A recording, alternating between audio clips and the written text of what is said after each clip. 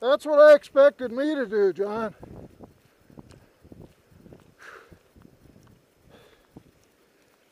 Oh, you went up the hard way.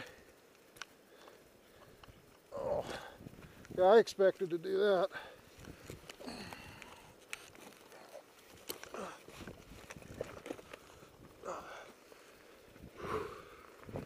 No, you didn't. You went to the left, huh? You got a break?